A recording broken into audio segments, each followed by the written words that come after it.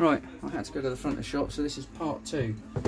I'll put the two separate videos up, but it would have been nice to have it all in one go, but unfortunately, when you're in a shop, customers come in and they come first. Right, here we go. I'll take the rear stock off now. So this is the stock bolt.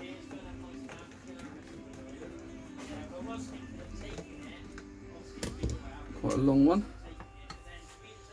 Sometimes, oh no, this one's okay. Slides off nicely. It's probably because it's an old school one and they were built to last back then and of proper wood.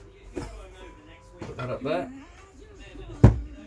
Right, so you've got your lever, your hammer, your bolt, um, your spring for the hammer there. What I'll start by doing is taking off the lever.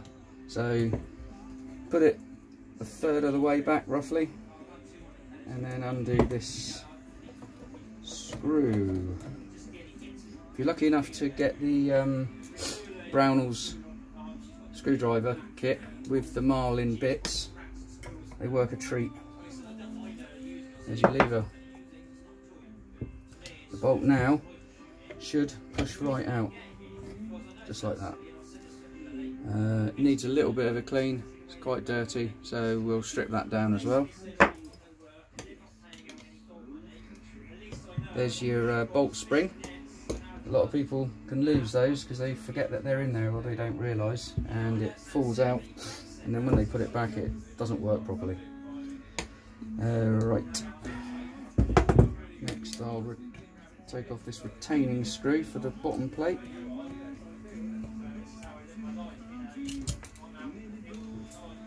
Good thing about a magnetic screwdriver as well is when you drop the bits they uh, catch it. It's very handy, especially when you're a butterfingers like me.